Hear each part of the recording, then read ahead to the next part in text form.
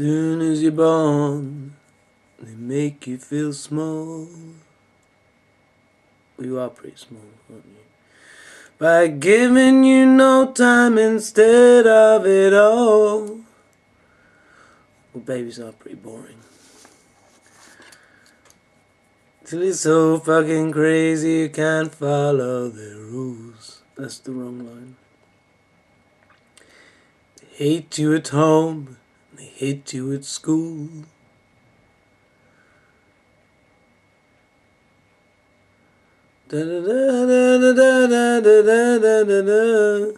And it's all fucking crazy you can't follow the rules.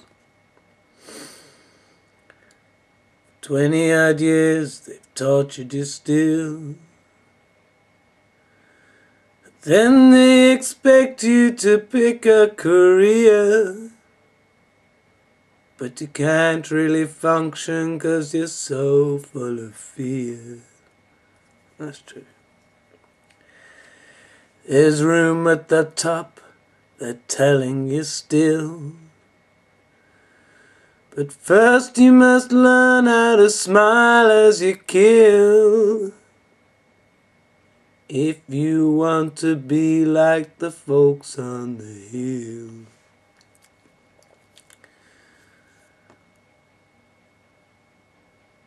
If you're successful in this world, it don't mean not, doesn't mean shit.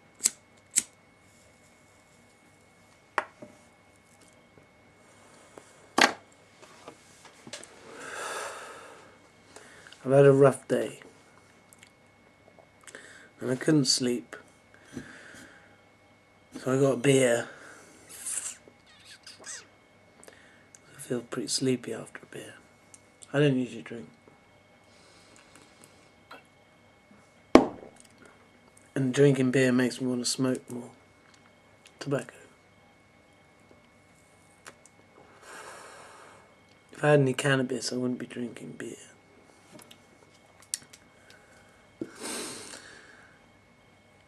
Yeah, I've had a pretty rough day, and I just wanted to talk to myself. Hello, Stephen. How are you? Oh, I've been better, but I'm not bad really.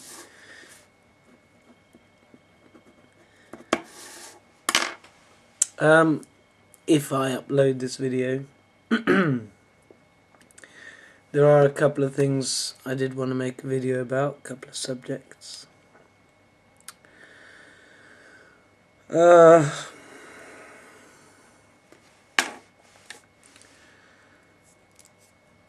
you know, the last few videos I've made have been pretty contentious, unpopular, provocative. But it's been me exploring um, some facts which may be true. And um, I still believe them. It seems to me most people don't see logic because they don't want to. You're in denial. Especially when, you know, if I've had a discussion with someone and all they can say is, you're an idiot or you're fucking wrong. You know, that's hardly good grounds for a discussion, is it? I mean, what do you come back with, with when someone just says you're an idiot? What, you know, how can you continue that discussion?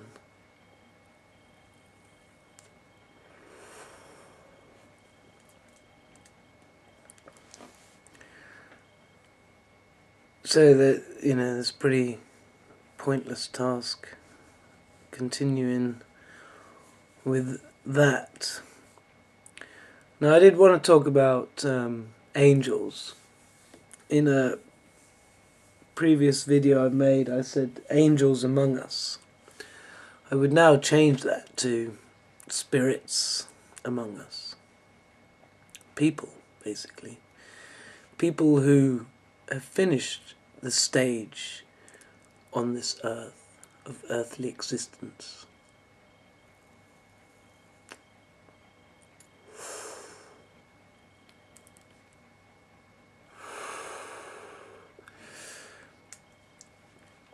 Apparently,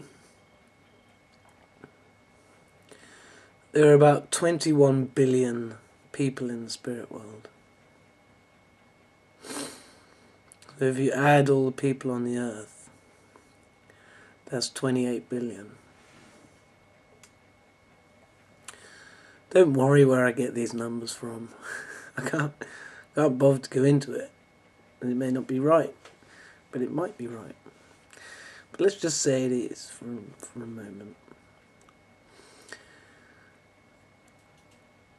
Seven billion of those currently in the spirit world have had a life, had a life on earth. 14 billion of them, billion of them have never had a life on earth.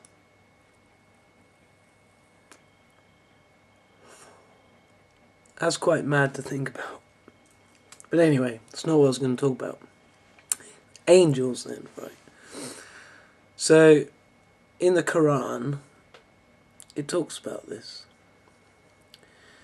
and it says um, God created the angels out of fire and he created the men out of clay and it said to the angels you must bow in a sense serve the ones made out of clay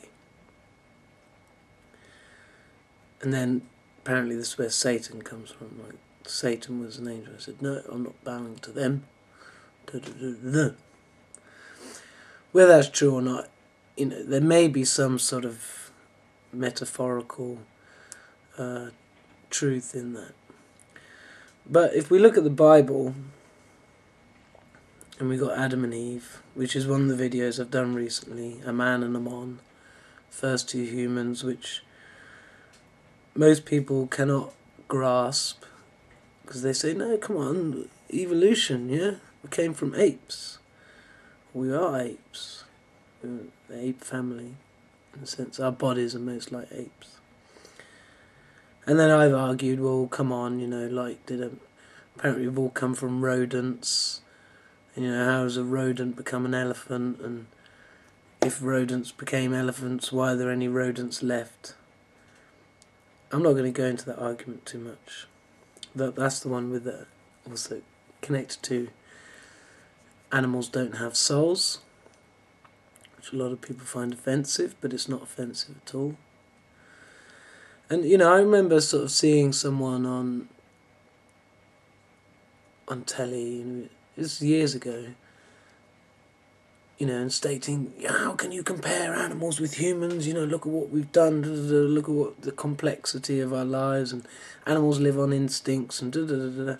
And at the time, I thought, get twat. Animals just as special as we are. Da, da, da, da. But you know, when I first heard that, yeah, we there's a physical body, a spirit body, and that we're alike with animals. But then there's the soul thing, and God created man in the in His own image, and God is a soul. So we have souls and animals don't. That's what I came to. Uh, but before I go off too much, um, back to the angels. So in the Bible, you've got these first two humans made perfectly. And then it states quite clearly in the Bible how long they lived. And, you know, when they were born and the next generations and how long each generation lived. And you know, they were all living about 900 years. And then it was after Noah that states in the Bible, now man shall only, shall only live 120 years. And so people would just say, you know, and I, I say as well, that every word of the Bible is not truth, because there's been translations and there's probably been added bits and there's probably been bits that have been taken out. But these bits that have survived you know, are we to assume that some bloke just made it all up and happened to be able to write it down or pass it on verbally and everyone just took on this made up stuff. I don't see that as logical at all. And I think, you know, people really think about it, you know, there is logic. You can you can discern things if you have if you give it some thought. So and I think in those beginning stages and some of the books of the Bible are very old, you know, and and I'd say it's logical that some of this truth remained and in the beginning days if you don't, if you believe in the evolutionary theory, you know, we could argue about this all night, but the true missing link hasn't been found. I looked at some skull fossils that they have on Wikipedia, and you look at the earliest ones, they apparently 1.5 million years ago. Here's this skull. Well, am I just going to take that as truth? I mean, someone's just put this skull on here and apparently carbon dated it. When you look at them, there's like one or two that look like human, but most of them look like monkeys or gorillas or chimpanzees. They don't look human. Then they start looking a bit human. But you still can't always trust the dating. I mean, that gets to about 40,000 years ago. They start looking a bit more human, but the first really human one is only about 7,000 years old. But anyway, that aside, um, if we then just take what's written in the Bible and assume that some bloke didn't just make it up, or woman, the fact that it's lasted and it's been held on to in these books. So let's presume that you know, God did create the first two people, they would have had all the truths. And then their sons and daughters, you know, obviously would have had the truths passed on. And the truth would have been quite well known. So you get to the point of Noah when apparently the world was flooded, and you know, and then you use logic and say, well, hang on, this bit can't be true because quite soon after Noah, his three sons, well, where it hasn't mentioned any daughters, it might have been daughters, but then suddenly they talk about, you know, don't go over to that land because there are other people there. So, so what I would consider perhaps angels are these first few thousand beings, or however many there were say there were 20,000, that had 900 year lifespans. Now, I would suggest that they would appear different physically.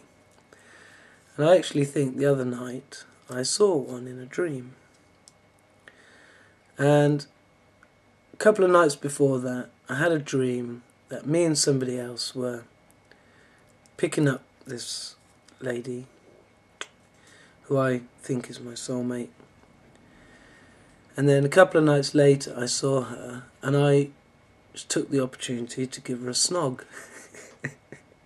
it's a proper dream. I wasn't making it up. I wasn't just sitting there imagining.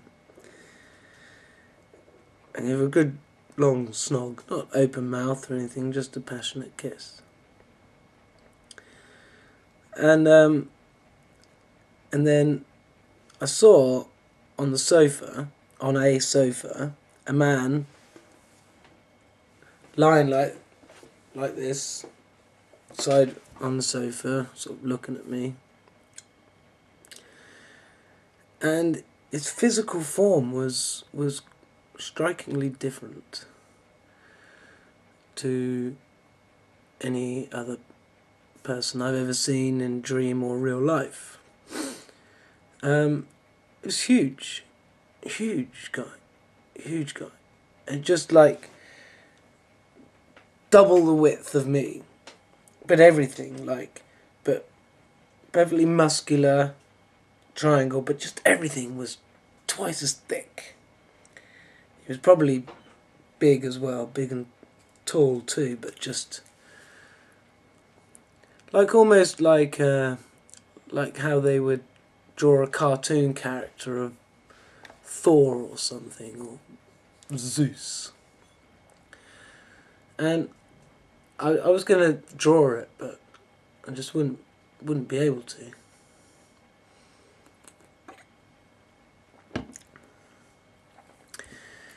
And he sort of had this. I don't know. There was some information that passed with this sort of look.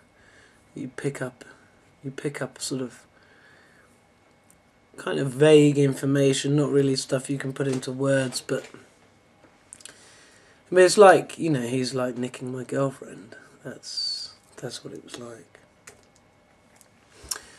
It occurred to me that uh, he must be an angel. Well, what we, what I'm now deciphering the difference. Those ones that lived 900 years, they like call them angels. It's probably the wrong word, because you might be able to become an angel when you get close to God. I don't know. So yeah, I think I saw one of them, and he's obviously not really good one because he wouldn't be nicking my girlfriend if he was. Why was he nick my girlfriend? Huh?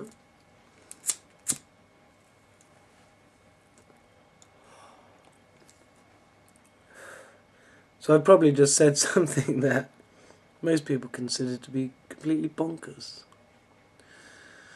Well, I don't mind what you think.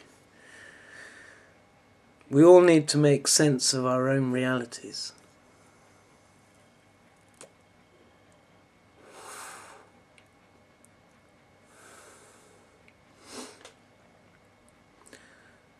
So that was that really. So I don't know, you know, what chance I have against sort of combating anything like that. I wouldn't wouldn't attempt it. I wouldn't attempt to combat it.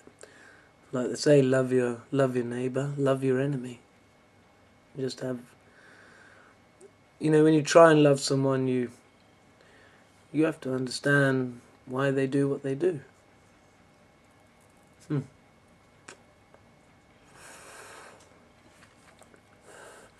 Today I went to see my son's head teacher at school.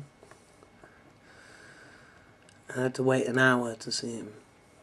it didn't pa- passed quite quickly. He was very busy, but I, I went to see him, so I, I had nothing better to do, so I waited. Have you ever had this thing where you look at the carpet and you see faces?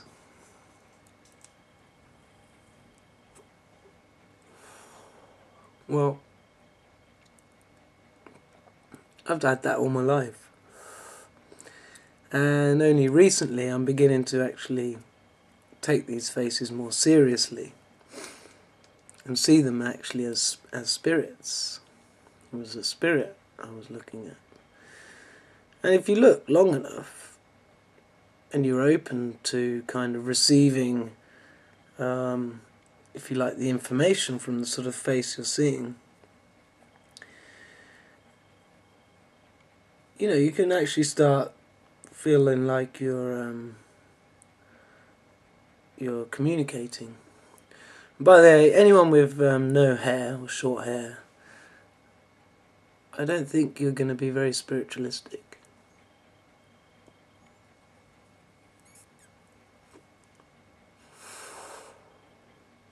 traditionally, women have had longer hair than men.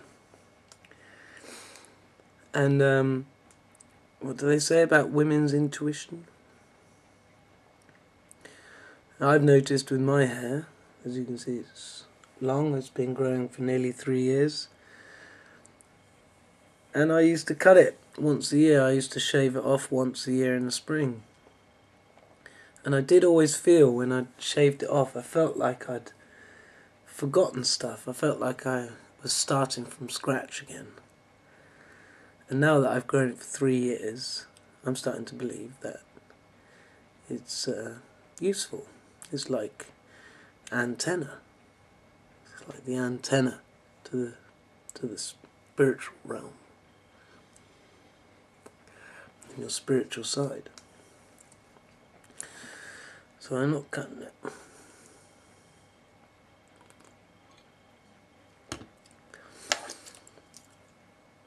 Anyway, where was I going? So I was looking at this spirit. I spent about 10 minutes doing this. he was like laughing at me, like, because I've had a crap day. You know, things haven't exactly gone to plan. There's been a bit stuff with my son and my ex-wife, and um, it was like laughing at me. You know, that could have got me angry. Well, something else good happened today, actually. I got someone to agree to give me an intensive hang gliding course. I'm going to get a hang glider as well. anyway. so this spirit laughing at me and and I you know, I thought, well I got I gotta love this spirit because you gotta love everyone. Um and I just started to think, well, you know, you're, a, you know, why, why are you being, why do you want, why are you enjoying my misfortune, sort of thing. And it, the face started to change, and I was being loving to him, and I was saying, thinking, well, you know, you've got to, because when you speak in your head, that's your spirit body talking just as you would in a dream. Saying, so why you, you know, why do you like this? And, you know, it's not doing you any good. Being, being unloving isn't benefiting you. And you would be benefited, you would benefit yourself if you were more loving and, and I noticed a bit of fear in, in this carpet spirit. spirit which was I was seeing in the carpet. And now lots of you thinking I'm crazy, right? But um, the face started changing. I could see, you know, and I was like, well, you know, feel the fear. I felt fear. I've I've been open to feeling fear, and and it passes, and you'll be better for it. And you get a nice feeling. I was just getting one then. A nice feeling of goodness. So yeah. It's good stuff. You think I'm bonkers? Probably. And the next thing I was going to talk about, I'll skip one and go into another one. Now, we're supposedly be, be able to survive on water. And hot drinks and hot food apparently is like a comfort thing, but fuck it, we we live in a cold country in the winter anyway. It's cold. I'm sure it wasn't really God's design for us to live in cold climates as such. Um, well, not ideal anyway. So we need fucking hot food, don't we? We need some hot drinks. But yeah, I've kind of been into this before, how uh, people were sent to northern climates with the blue eyes. But anyway, I'm not going to go into that. So that was a short one. So my biggest problem today has been dentists and dentists that want to do things to my son's teeth. And my ex-wife, she's a bit of a sucker for authority. You know, she will just go with what the authority says. And I think they like that. And I think she likes that they like it. so she does tend to like using doctors and dentists, you know, if at all possible and probably the more things they suggest they can do, the more she likes it. But I'm completely the opposite. I'm completely like, you know, if it isn't absolutely necessary, then then let's not do it. There's been this whole thing with my son's tooth. He had a toothache back in May, and it it was a problem then. I agree, but you know, he cut back on his sweets after the toothache. You know, realised it was sweets that probably causing it. Probably sweets I've been giving him. So I, you know, said to him, well, you know, cut down your sweets, and uh, they won't have to pull the tooth out. You know, six months has gone by, and his tooth's got better. There's no pain, but the dentist is still saying we've got to pull the tooth out. And they haven't been very good when I've gone down to see them. They haven't been very good at explaining to me why it needs to be pulled out. I saw when it was it had this greyness to it in the middle. But now it's not grey anymore. And they're saying it's a dead tooth, so how can it be a dead tooth, right? Dead tooths don't come back to life. If it was a dead tooth, it would have stayed grey. It wouldn't have come back to white. And it got me thinking, you know, about dentists. And, you know, who wants to be a dentist? who grows up, oh, I want to be a dentist. I want to shove my things into people's mouths. Not really, do they?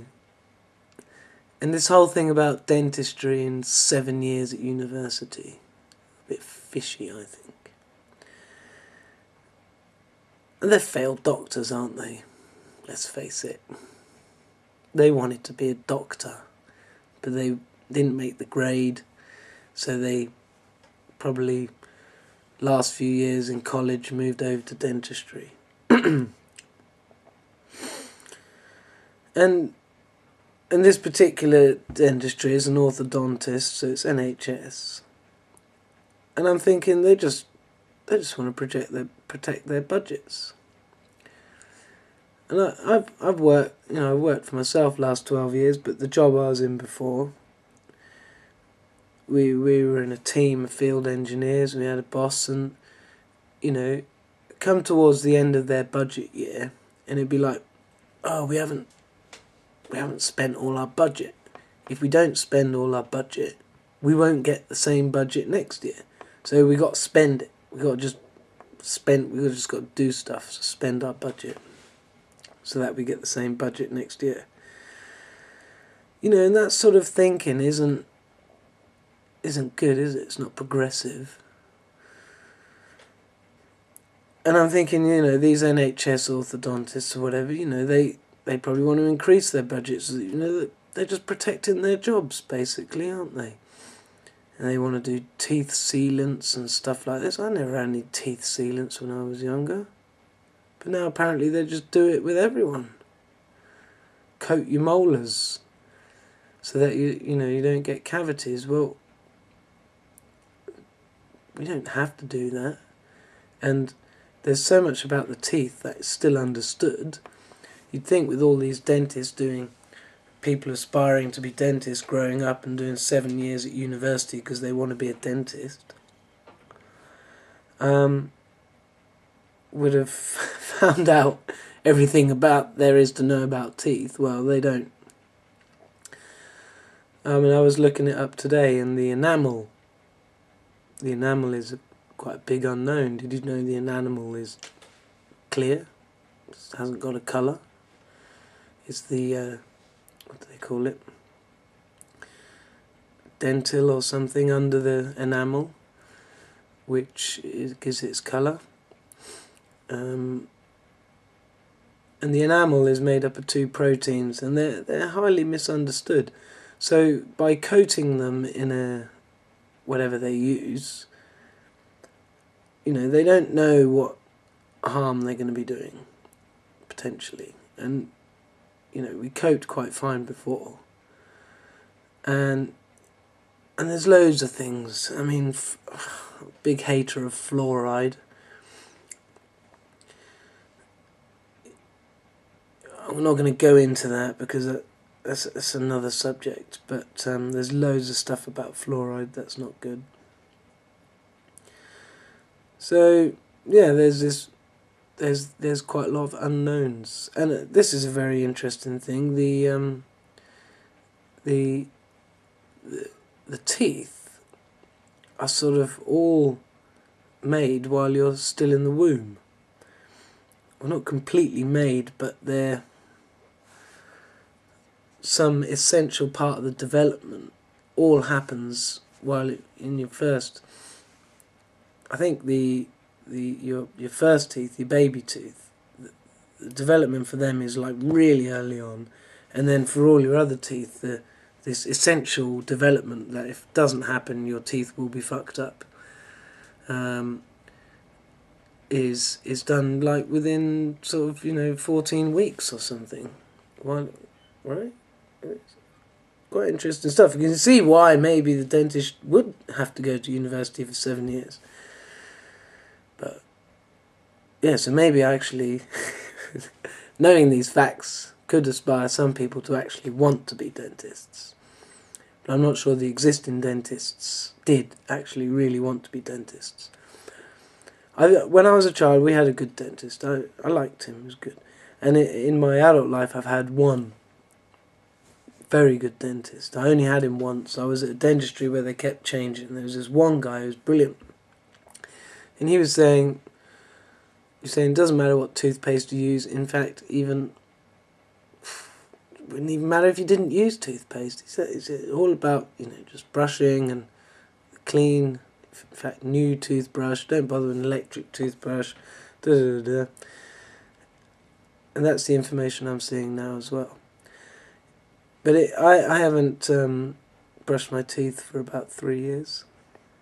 I think I've said this before. I use a licorice stick, which which I chew a bit, and it makes it fluffy, and I just rub off the crap sometimes with that. And um, also drink rainwater, which helped. And I don't wake up in the morning with a shit taste in my mouth. I was over at my friend's house a couple of nights ago, and they both said how every morning they wake up with a really fucking shit taste in their mouth. So that got me thinking that um, using toothpaste probably kills the good natural bacteria in your mouth. And so when you've brushed your teeth at night and you go to bed, you wake up in the morning, you've had no beneficial bacteria, you've only had some remains of some shit bacteria which has grown through the night, and you wake up in the morning with a shitty taste in your mouth. I don't get that anymore, so I'm glad of that. But you know, try telling that to my ex wife it's not very easy. Um, you want to look at my teeth? Do I have to show you? It's probably too dark.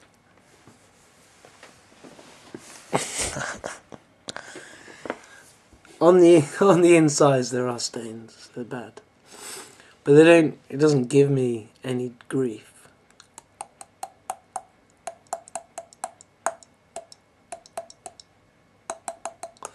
I went to this one dent when I was last at dent, must be like four, three years ago or something.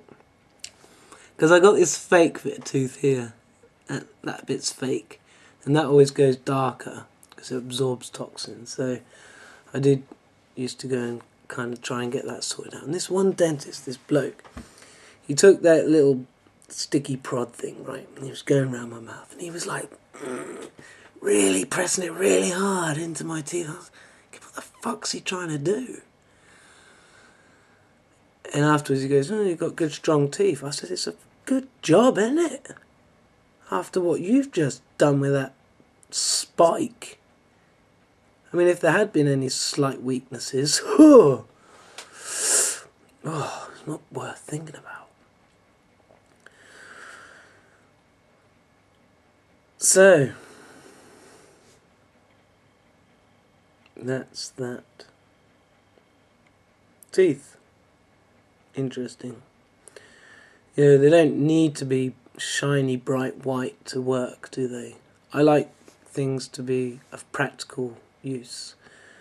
And I think, you know, if you're able to eat any food you want without pain and you don't have shitty taste in your mouth and you haven't got big abscesses and your gums are pretty healthy, nothing to worry about.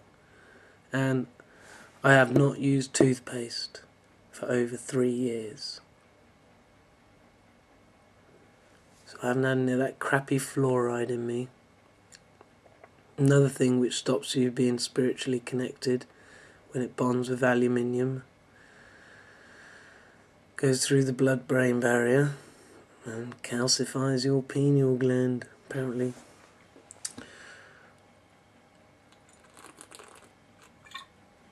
So I don't know if I'm going to upload this or not. I probably will. I'm a sucker for punishment. But yeah, that's about it. So, shall I sing a song? Shall I sing a song? I think my guitar's out of tune. Here's a song I can't sing.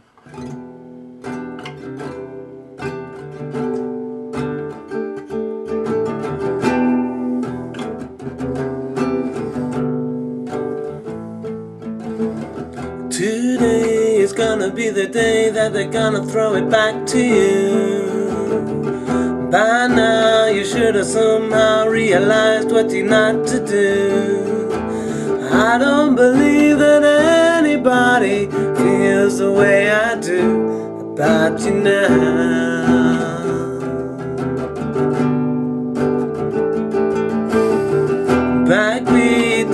On the street that the fire in your heart is out. I'm sure you heard it all before, but you never really had a doubt. I don't believe that anybody feels the way I do about you now.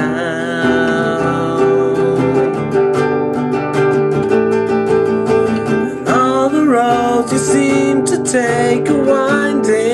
I'm with the right courses. And all the lights that lead the way you're blinding. It's terrible.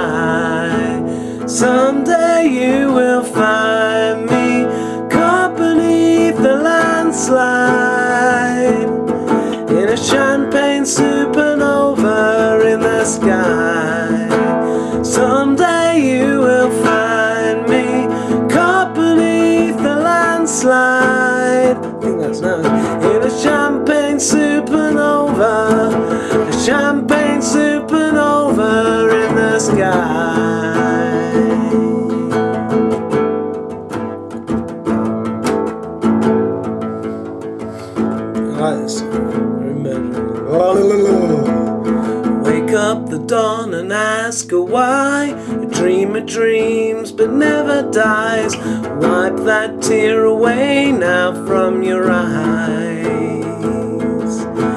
Slowly walking down the hall, faster than